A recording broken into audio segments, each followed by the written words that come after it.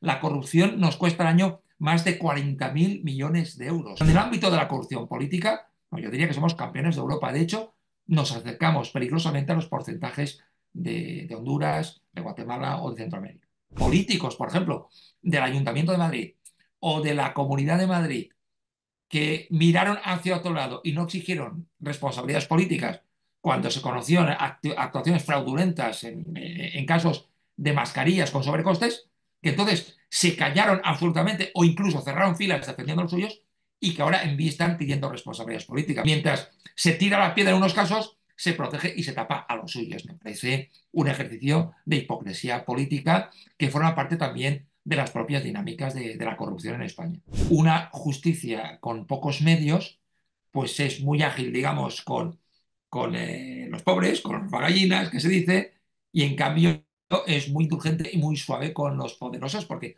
hay pocos instrumentos. ¿Qué tal? ¿Cómo estáis? Estamos con el juez Joaquín Bosch, de Jueces para la Democracia, autor de La Patria en la cartera, un experto en corrupción y en corruptos. ¿Qué tal, magistrado? ¿Cómo está?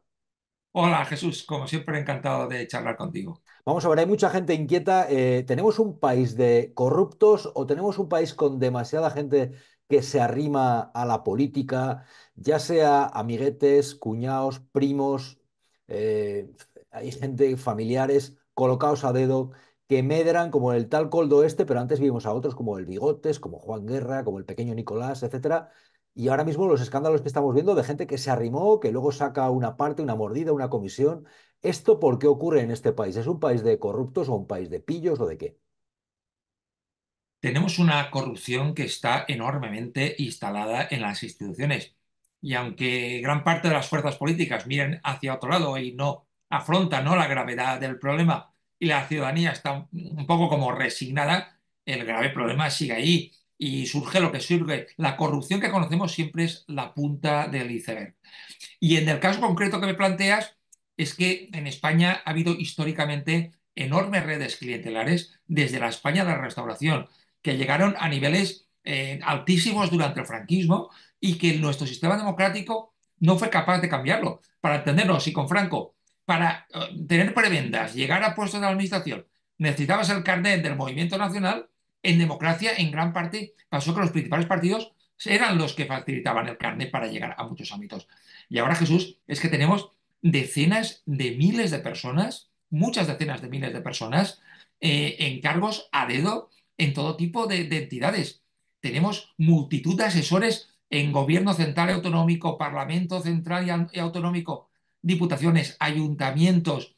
Tenemos multitud, eh, miles y miles también de eh, cargos de confianza en empresas públicas, fundaciones institucionales, consorcios. Hay cerca de 8.000 en España y ahí se nombran casi siempre a dedo los presidentes y los consejeros. Y lo mismo pasa en muchas administraciones públicas. Claro, es un caldo de cultivo que facilita mucho pues que, que pueda haber todo tipo de irregularidades. Claro, digamos que es un coladero, porque la figura del tal coldo y todos los derivados que estamos viendo, eh, ¿qué te sugiere como juez?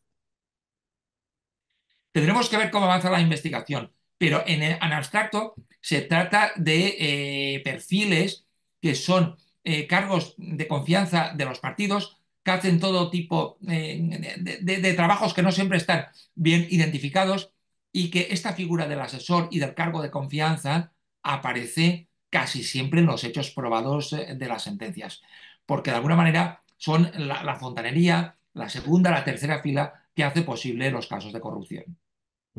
¿De cuántos miles de, de, gente de esta colocada a dedo, asesores, etcétera, etcétera, podemos estar hablando en la administración del Estado en España?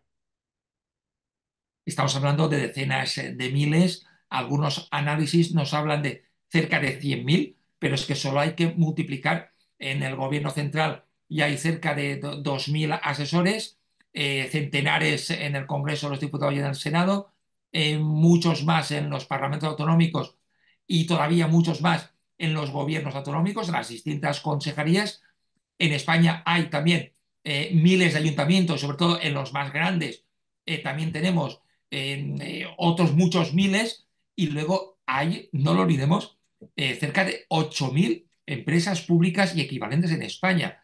Eh, fundaciones institucionales, empresas mixtas, consorcios, y ahí eh, los consejeros, los directores, los presidentes, en muchos casos son cargos de partido. En la administración pública hay muchos jefes de departamento, jefes de sección en cargos de confianza que tienen que ser ocupados por principios de mérito y capacidad. Y en España no prima el mérito y la capacidad. Lo que prima en líneas generales es el clientelismo, el trato de favor, y eso además es muy importante para la vida interna de los partidos por todo lo que representa tener miles de personas colocadas en cargos a dedo.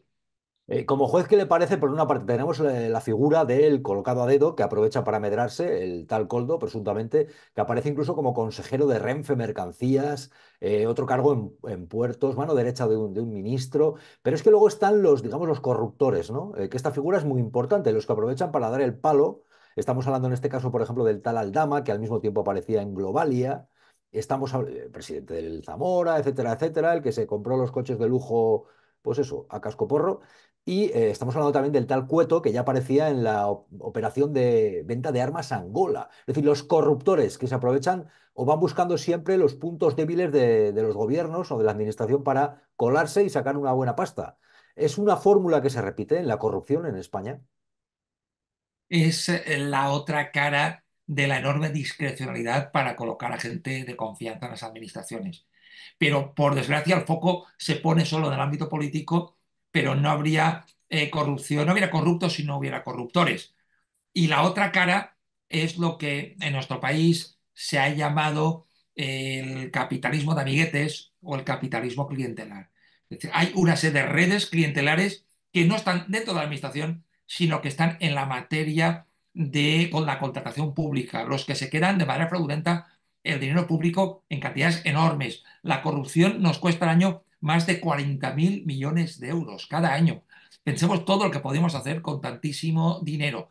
Y ahí están implicadas muchas de las grandes empresas de nuestro país. Ahí están eh, implicadas en manipulaciones fraudulentas por las que han recibido sanciones y ahí están los hechos probados de las sentencias, porque igual que es muy fácil colocar gente en la administración pública con estos mecanismos, también es enormemente sencillo contratar eh, a quien se quiere, de manera discrecional, a veces de manera casi, casi libre. Y hay una regla general también ahí, Jesús. Cuando vemos eh, pabellones cubiertos, piscinas, parques, cargamentos de mascarillas que cuestan 3, 4, 5 veces el precio de mercado, es evidente que hay que activar las alarmas porque en las sentencias los hechos probados nos dicen que esos sobrecostes siempre es la propina que se reparten entre el político corrupto y el empresario corrupto. Propina por llamarlo, por, llamarlo así, por no llamarlo mordida. Sí, mordida, sí. Y de hecho, esto de las comisiones, aprovecha que te lo diga, pero eso del comisionista, vamos a ver, comisionista eh, puede ser un señor que es comercial y que se queda con dinero en vez que lo declara Hacienda. Eso puede ser un comisionista fraudulento. Pero toda la vida a esto se le han llamado sobornos. Es que estos son sobornos.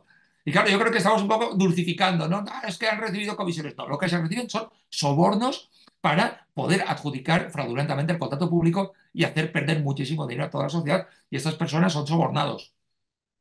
Claro, porque cuando estamos hablando ahora del caso de las mascarillas, estamos hablando de esos empresarios que pegan el palo, pero has dicho un dato que me ha parecido muy llamativo y me lo he quedado. Eh, dices, las grandes empresas están incluso eh, o pueden estar detrás de esas operaciones que hacen que haya tantos miles de millones al año en la corrupción en España. Es decir, es una práctica eh, usual el hecho de sobornar, de comprar, de meter dinero para que te den. ¿Esto es una práctica más habitual de lo que parece? Esto es una práctica muy habitual y ahí están los hechos probados de las sentencias. Otra cosa es que no sea eh, fácil de detectar la corrupción. Bueno, pero bueno, eh, por, poner un ejemplo, en los casos de financiación ilegal y de mordidas en Cataluña, los hechos probados de la sentencia al caso Palau, por ejemplo, nos dicen que se, quedó eh, cerca de 6 millones de euros eh, convergencia a través de mordidas, eso es lo que dice la sentencia, no es, mi opinión, ¿no? A cambio de adjudicaciones multimillonarias a una gran empresa eh, para construir la ciudad de la justicia, de Barcelona, líneas de metro y todo tipo de infraestructuras públicas. Esta gran, gran empresa, por ejemplo, era Ferrovial. Eso es lo que dice la sentencia. Empresa conocida por defender la libertad de mercado, y, haber cambiado su domicilio no, hace demasiado tiempo. Parece que en casos como Países Bajos, a Países Bajos. Eh, sí, parece que en casos como estos no, se defendió la libertad de mercado, sino que lo que hubo fueron complicidades de tipo fraudulento. En los hechos probados de muchísimas sentencias de grandes casos de corrupción, están las principales empresas de nuestro país, o al menos algunas de las principales. Otra cosa es que nunca o casi nunca se llegue, digamos, a altos cargos. Eh, un alto cargo de una empresa no va a llevar un maletín para sobornar a un político. Esto siempre lo hace gente de segunda o tercera fila, igual que un ministro, un alto cargo político, no suele ser tampoco el que recibe el maletín. Para eso están testaferros y cargos de segunda o tercera fila que pululan en este ámbito que hemos hablado de, las redes clientelares de, los principales partidos. O sea, dices que hay otros que suelen hacer el trabajo sucio, tanto en las empresas como en eh, la administración, ¿no? Suele haber otros que hacen ese papel. Por cierto, de lo que estamos conociendo del caso Coldo, ¿eh? con todas las derivadas eh, que está viendo, tanto el Ministerio como lo que se está hablando de Globalia, como lo que se está hablando de mm, Canarias, de Baleares, no sé, ¿qué es lo que más te está llamando la atención ¿Qué es lo que crees que va a ocurrir con los datos que se van conociendo? ¿De qué estamos hablando? ¿Qué quieres destacar? Si te digo la verdad, no me he sorprendido en absoluto.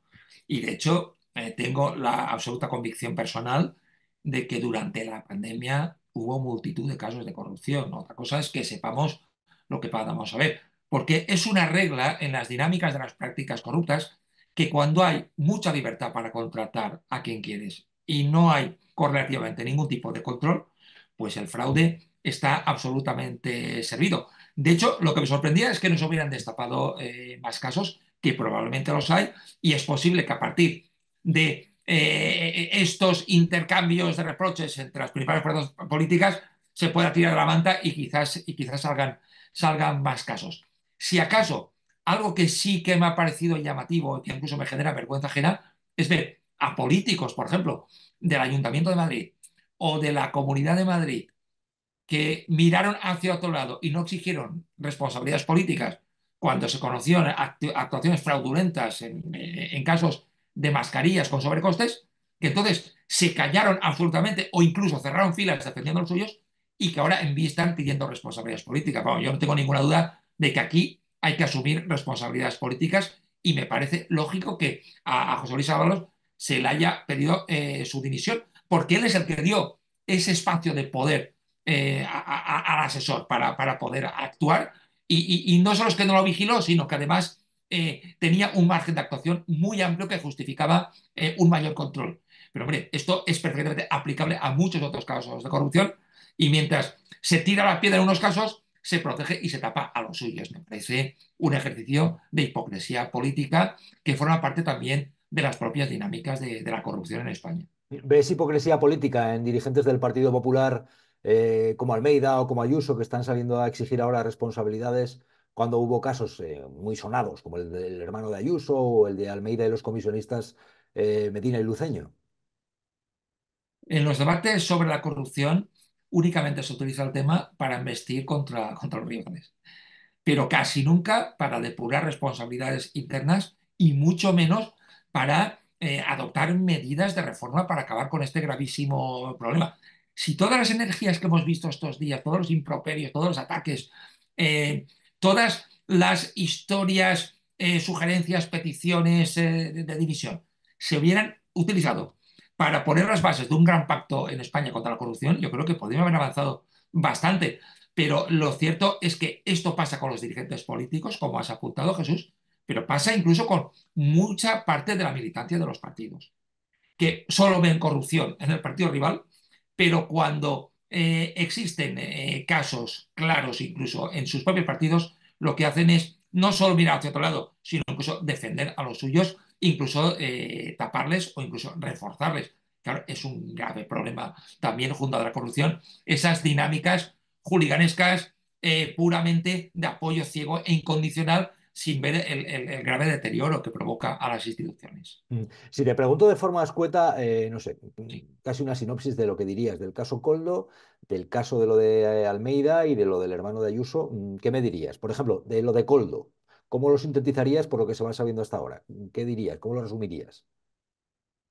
Pienso que es un caso más entre muchos otros, porque no es un caso aislado en absoluto, de discrecionalidad en la administración a la hora de contratar, de falta de control, de adjudicación por encima del precio de mercado y de influencia de redes clientelares en el ámbito partidista. El caso del Ayuntamiento de Madrid con los comisionistas eh, Medina y Luceño y la administración del gobierno de Martínez Almeida. Es que yo creo que son casos muy parecidos que marcan los mismos eh, problemas. Eh, tratos de favor, clientelismo en la adjudicación pública, falta, eh, falta de control, eh, ausencia de asumir responsabilidades eh, políticas y en última instancia unas, eh, unas prácticas que realmente forman parte del ADN, del ADN, forman parte de las estructuras institucionales de, de nuestro país. El caso del hermano de Ayuso, Pienso que es un caso claro en el que se demuestra cómo se intenta tapar la falta de responsabilidad penal eh, con la falta de responsabilidad política. Y son dos casos, dos situaciones muy diferentes. Eh, de hecho, esto lo dijo el propio, el propio Pablo Casas. Y parece que no le fue muy bien después de decirlo. Lo que dijo es que, con independencia de eh, lo que ocurra en un proceso penal, un cargo político siempre debe actuar con ejemplaridad. Y si hay situaciones en las que una administración contrata muy por encima del precio de mercado y además hay parientes del cargo político que podría aprovecharse de esta situación, esto puede ser delito o no, pero es evidente que no forma parte de actuaciones de tipo ejemplar y creo que la ciudadanía merece que no haya familiares que puedan beneficiarse de que tengan un pariente en, en un cargo público. mm, es el caso de- del hermano de Ayuso, porque ellos es verdad que se están escudando mucho en que la fiscalía archivó, pero ¿crees que políticamente deberían eh, haber asumido responsabilidades o que es indecente? Bueno, eso es lo que dijo el máximo dirigente del partido en, en su propio momento. Y en aquel momento quiero recordar que gran parte de los dirigentes incluso le aplaudieron. Luego parece que fueron borrando tweets o fueron, fueron disimulando lo que dijeron. Pero en aquel momento el propio partido es lo que dijo, ¿no? Que, que el familiar directo de- de- del presidente de una comunidad autónoma no, no podía beneficiarse de una situación eh, concreta para eh, conseguir un elevadísimo beneficio económico a cambio de muy poca, de muy poca aportación pero siempre es el mismo escudo. No, es que mientras no haya eh, una sentencia de condena, eh, yo, yo- yo- yo no dimito. Eh, a mí, de alguna manera, me, tiene que echar el juez, pero vamos, vamos a ver, es que dimitir no es que dicte una sentencia a un juez, que te inhabilita, es que eso es así. Dimitir es que uno asume que hay conductas que no son ejemplares y que son incompatibles con ocupar un cargo público. Mm. O sea, ¿crees que lo que ha hecho, por ejemplo, Ábalos no se corresponde? O sea, ¿crees que debería haber dimitido, que debería haber abandonado el, Congreso directamente? Si es cierto que ha perdido eh, ser diputado del Partido Socialista, ha pasado al grupo mixto. Pero ¿qué menos crees que, que asumir esas responsabilidades políticas? Yo pienso que era lógico que Ábalos asumiera esas responsabilidades eh, políticas y hubiera abandonado el Congreso de los Diputados. si Coldo pudo hacer todo lo que se le atribuye, es porque alguien le dio todo ese poder, un poder enorme, por lo visto, poder que le posibilitaba moverse en multitud de ministerios y organismos públicos y también mover muchísimos millones eh, de euros. Está claro que algo falló y, según se dice, era la propia sombra del ministro. Algo tenía que haber visto y si no lo vio, eh, parece que pudo haber una conducta de falta de, falta de falta de diligencia. A partir de ahí veremos qué es lo que ocurre con la causa penal, veremos si Ábalos puede estar implicado, pero eso es otro problema que no tiene nada que ver. Lo que no puede ser es que en este país no se asuman responsabilidades políticas prácticamente nunca. En otros países han dimitido ministros por comprar chocolatinas con una eh, tarjeta de crédito pública, por plagio de tesis doctoral, por infracciones de tráfico, porque se exige ejemplaridad y aquí pues pasa un poco lo mismo. Tenemos que avanzar mucho en el ámbito de la ejemplaridad eh, pública. Por los datos que vamos conociendo y como juez, ¿qué le parece que está por venir? Es decir, ¿qué cree que va a ocurrir con este caso? ¿Vamos para más? ¿Va para cosas más graves? ¿Las consecuencias van a ser eh, duras? ¿Qué, qué, qué cree con lo que vamos conociendo? Sobre el caso Coldo concreto. Sí, sí, sí. Mi impresión es que en ese procedimiento eh, la investigación no está cerrada del todo, aunque se haya levantado el secreto sumario, pero quedan diligencias por practicarse y perfectamente podemos encontrarnos con eh, sorpresas de todo tipo. De hecho, al principio la investigación dejaba absolutamente, parecía, ¿no? Según informaron los medios, al propio Ábalos, a otros cargos políticos y luego se han ido sabiendo, se, se ha ido sabiendo más cosas. Mi impresión es que eh, hay diligencias judiciales pendientes de practicar, eh, entre ellas ver el rastro del dinero, cómo se ha ido moviendo, ver eh, quién tomó las decisiones en los distintos organismos públicos y por ello me parece que sí que puede haber sorpresas sobre, sobre futuras implicaciones políticas. ¿Puede haber materia en las reuniones de la esposa del presidente del gobierno, de Begoña Gómez, eh, con dirigentes de Globalia, coincidiendo en el tiempo con el proceso de rescate de la, de la empresa? Eh, una empresa en la que aparecía también eh, el vínculo con Aldama, el presidente del Zamora, que al mismo tiempo se convierte también en comisionista por lo de las mascarillas.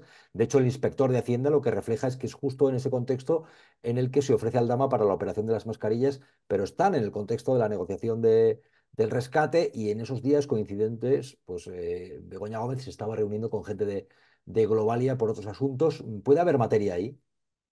Bueno, tendrá que valorar en este caso el juez de instrucción, en principio con los datos que tenemos ahí no parece haber materia punible, tendremos que esperar al desarrollo de la investigación. Otro dato, el juez García Castellón aparece eh, como, dicen, va a tutelar, va a supervisar, ahora mismo dicen que va a apoyar la investigación de la Fiscalía Europea para los casos de Canarias y Baleares eh, que afectan a Francina Armengol, presidenta del Congreso, y Ángel Víctor Torres, ministro eh, del Gobierno. García Castellón, que quien dice la bestia parda del gobierno, mm, de la izquierda, el gobierno de la izquierda, porque la derecha no está muy contentos con Manolo, que así le llaman. Eh, ¿qué, puede suponer esto? ¿Qué papel va a desempeñar? Explíquenos qué va a desempeñar García Castellón en este caso. Es un papel judicial eh, eh, procesalmente distinto al habitual, porque es la Fiscalía Europea la que hace la investigación y la hace porque están afectados eh, fondos europeos. Eh, se investigan eh, daños a los intereses financieros de la Unión Europea. Y en estos casos cambia la estructura procesal. No es el juez de instrucción ya el que investiga, sino que estos hechos presuntamente delictivos son investigados por la Fiscalía Europea y el juez español hace un papel de juez de garantías. Es decir, no impulsa la investigación, sino que decide materias que afectan a los derechos fundamentales básicamente que se puedan acordar registros, eso lo decide el juez de garantías, que se pueda pinchar un teléfono, en su caso que pueda haber una prisión eh, provisional, pero únicamente interviene en, aspectos muy puntuales. El peso de esa investigación no lo llevará García Castellón, sino que será la Fiscalía Europea. Y solo una reflexión, cuando vemos en las últimas horas el rifirrafe de los dos grandes partidos, de lo que llamaríamos el bipartidismo, en sede parlamentaria tirándose los trastos eh, de esta forma, no hay inspecciones, no hay actas, no hay reclamaciones, no hay ese impuesto de grandes fortunas que usted va pregonando por ahí. Solo hay en esa trama un grupo de socios que han viajado y viajan en un coche que huele a chorizo y a fruta. ¿Va a pedirle usted la dimisión a la señora Ayuso después de que su hermano se enriqueció en el peor momento de la pandemia? En definitiva, señoría, a aplicarse la asunción de responsabilidades políticas que ustedes en ningún caso han hecho. Todo lo contrario, cuando el presidente de su partido decidió poner luz y denunciar la corrupción que se estaba haciendo en la Comunidad de Madrid, ustedes quitaron al señor Casado, taparon la corrupción y hoy el señor Feijó se sienta en un despacho pagado con dinero negro. Eso es lo que hace el Partido Popular. ¿Qué le parece? ¿Qué, reflexionaría? En qué, ¿Qué refleja de esta España nuestra? Yo creo que lo que refleja es poca voluntad de acometer reformas que en serio puedan acabar con la corrupción. Y esto, francamente, eh, quienes lo pueden decir de verdad son los dos principales partidos del país, porque tienen la mayoría suficiente para ello. Ellos pueden acabar con todos estos enjambres clientelares, todas esas redes de amiguismo de favor que hay en las administraciones públicas. Pueden acabar con esas dinámicas de adjudicaciones eh, muy discrecionales, muy amplias, sin apenas o, sin controles suficientes. Ellos pueden acabar también con la falta de controles internos en las administraciones. Pueden acabar con la insuficiencia de recursos en la justicia, que de eso se habla muy poco. Pero si la corrupción es difícil de detectar, no olvidemos que también es muy difícil de, juzgar. Y por eso las causas tardan 10, 12, 14 años. He hablado antes de la segunda y la tercera fila. A menudo cuando los jueces de instructores llegamos arriba, a la primera fila, las causas ya han prescrito y no podemos continuar adelante. Eso ha pasado en muchos, en muchos casos. Estamos a la cola de Europa en el número de jueces y a la cabeza en el número de corruptos. Eh, creo que fue Roosevelt el que dijo que en política casi nada pasa por casualidad. ¿Es casualidad que los juzgados no haya instrumentos para perseguirlo? ¿Es casualidad que las tramas corruptas tengan más medios para escapar de los que tenemos los jueces para perseguirlos? Son, dinámicas lamentables. Los jueces perseguimos en vicia corruptos que escapan en Mercedes. Y esto solo lo pueden arreglar los dos principales partidos del país porque tienen mayoría suficiente para ello. Por lo tanto, la llamada tiene que ser a que aborden todas esas reformas estructurales porque dependen especialmente de, de sus decisiones. Pero de forma escueta, y a raíz de lo que está diciendo, le preguntaría, eh, ¿los corruptos saben de esa debilidad de la justicia y se aprovechan de eso o tienen menos miedo? Los corruptos saben perfectamente que hay muchas posibilidades de que les pillen. Y ahí están las grabaciones en las escuchas telefónicas, la tranquilidad con la que actúan. Y incluso en esos espacios de impunidad saben que pueden incluso eh, interferir o presionar a los espacios judiciales o de la fiscalía porque como decía, llega muy poca corrupción a los juzgados, es muy difícil de investigar y eso lo saben muy bien los corruptos, y cuando llega no es fácil poder resolverla y menos en plazos razonables. Y si los corruptos piensan esto, sobre todo los principales corruptos del país, los que tienen poder, seguramente están muy bien informados y saben que, que aciertan. O sea que digamos que cuando no hay una justicia que sea ejemplar en el sentido de que sea ágil, que sea contundente, que las cosas prescriben, evidentemente los corruptos pueden tomar nota y no tener tanto miedo. Si tuvieran miedo, no harían eh, lo que hacen. Y solo tenemos que ver el volumen de corrupción que tenemos en nuestro país, sin equivalentes, al menos en corrupción exteriorizada judicialmente, en ningún país de la Europa democrática. Hemos tenido condenados en prisión provisional o encausados en casi todos los territorios autonómicos y a nivel estatal, presidentes autonómicos, consejeros, presidentes de diputaciones, alcaldes, diputados, eh, grandes empresas de nuestro país. Eh, ya digo, esto mm, a esos niveles de corrupción estrictamente política, vamos, no pasa ni en Nápoles ni en Sicilia, para entendernos. En Nápoles y en Sicilia hay otro tipo de corrupción, también la política, pero mafias, grupos de crimen organizado. Hay en Italia más corrupción policial, más corrupción funcionarial, pero en el ámbito de la corrupción política, yo diría que somos campeones de Europa. De hecho, nos acercamos peligrosamente a los porcentajes de, Honduras, de Guatemala o de Centroamérica. Campeones de Europa de corrupción política. En el ámbito estrictamente político, eh, ya, digo, eh, ¿en qué parte de Europa tenemos multitud de presidentes autonómicos, eh, consejeros, alcaldes, presidentes de diputaciones, ministros, cargos de cargos de todo tipo? Esto, si alguien con algún país con esos niveles, que me lo explique y modificaré las tesis con las que escribí mi libro La patria en la cartera. Hay corrupción, por supuesto, en otras partes, pero en el ámbito estrictamente político, lo de España no tiene apenas equivalentes en Europa. ¿Y hay una justicia para privilegiados y otra para los demás? más, que una justicia, tenemos, digamos, varios niveles. El de las leyes. Es evidente que las leyes, quien las configura, eh, no las ha configurado para que sea fácil perseguir eh, la corrupción. Y después, una justicia con pocos medios, pues es muy ágil, digamos, con, con eh, los pobres, con los gallinas, que se dice, y en cambio es muy indulgente y muy suave con los poderosos porque hay pocos instrumentos. Yo recuerdo que en su momento eh, José María Aznar, cuando era presidente del gobierno, dijo una frase eh, que, fue muy aclamada por, por alguna gente, decía, vamos a barrer de las calles a los pequeños delincuentes con la ley en la mano, además, dijo. Aparte de lo que uno puede pensar de que hay que barrer personas, de los grandes delincuentes no dijo nada. No dijo que hubiera que barrerlos. Se acordó una serie de medidas penales de juicios rápidos para el robagallinas, para el que hurta eh, poca cosa, eh, para el toxicómano que intenta sobrevivir como puede, para en un día o dos tener que juzgar rápidamente esto. Para la corrupción y la gran delincuencia económica no se ha arbitrado, que yo sepa, jamás ninguna medida específica. Hay otro dato importante, cuando Ábalos eh, mantiene el aforamiento, es decir, sigue en el grupo mixto, ¿tenemos en España el récord de aforados?